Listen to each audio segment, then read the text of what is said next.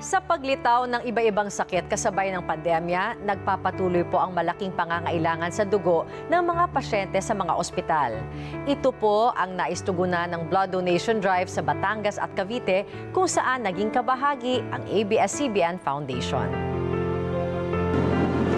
Bago dumiretso sa eskwelahan, dumaan ang estudyanteng si Niel Aaron Solomon sa San Juan Gym sa Batangas para makibahagi sa blood donation drive na pinungunahan ng kanilang LGU, DOH Calabarzon at ABS-CBN Foundation. Alam ni Niel kung gaano kahalaga ang pagdodonate ng dugo, lalo pat ang kanyang tiyuhin ay posibleng mabiyayaan ito dahil sa sakit sa kidney. Wag na magdalawang isip kung magdodonate ng dugo kasi madami pa tayo madudugtong ang buhay at madami tayo matutulungan.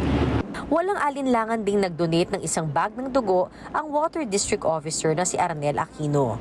Para sa kanya, isa itong misyon. para makatulong po sa ibang nangangailangan po ng dugo.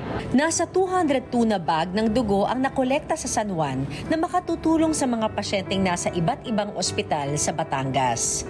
Nag-blood donation drive din sa Carmona, Cavite kung saan mga empleyado ng industrial company sa lugar ang karamihan sa nag-donate ng dugo. alam naman natin na mahirap magkaroon ah, mahirap tayo sa ano eh sa source ng dugo sa Pilipinas lalo na nagka-pandemic. Bukod sa nakakatulong na ako na sa mismong dinodonate kong dugo may health benefits din naman Nasa 427 units naman ng dugo ang nakolekta sa Carmona.